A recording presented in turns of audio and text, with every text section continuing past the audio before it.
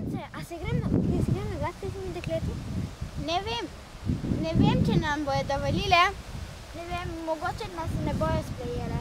Mislim, da zaradi tega, ker nas imajo za piflarke, ampak dajmo vsaj vsaj poskusiti.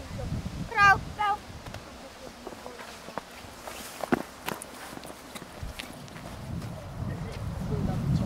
Živele dekleta, a se lahko igramo z vami? Kaj pa? Dve delate tukaj, ne smete biti tukaj sploh. Pa? Ker ste zgube, luzeri in nič ne veste. Prav, gremo. Veš kaj, Mina, to pa ni bilo lepo. Jaz bom šla. Glej, vse si prijazna, ampak zdaj si pa prestopila vse meje. Jaz grem. Ja, Nina, mogla bi lepše ravnati z njimi. Jaz tudi grem.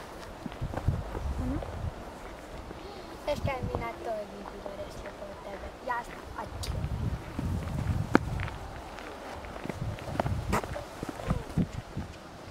O, pa gledajte, le kdo prihaja.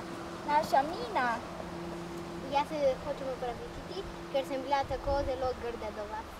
Nič hudega, pridi v srce. Kaj pridi? Jej, dobre prijateljice. Kaj vam je bilo danes v šoli kar nekaj? Ja, je? kaj smo delali, samo ocenjevanje. Ja, sej, samo ocenjevanja imamo in nič, sam preveč nalog. Pa tudi na treningi. Sej, na treningu je Nogometa. meni včeraj Ja, kar nekaj. Ja, no, in ko smo že pri nogometi, vse veš, oni so šolcku, sploh nič ne ve od nogometa, ko mu je, ko Metijan. Ja. Ja, mislim, kaj Tijan je tak slabič v nogometi, kaj, Kje ste prijatelji? kaj si rekel Tijan? Kaj? Kaj koga si ti prijatelj? Vaš sem Kaj prijatelj. znaš igrati Ja, nogomet? jaz znam, tega ne znam. Ja ne, on je bežik je, pališ prazen gol, mislim. Ja, te Jako, pusti ga primeri. Pa kaj je to tebi?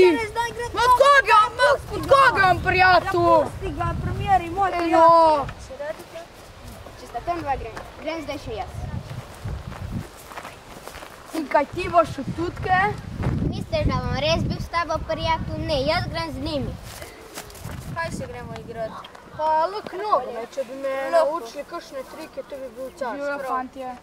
Kaj je? Ja, Anes, zdaj, zdaj, si ti, zdaj se ti obnašaš isto kot on. Pusti ga, ne? Pač tudi on je naš sošolc. Moramo ga spoštovati. Ej, kaj resno? gremo! Okay.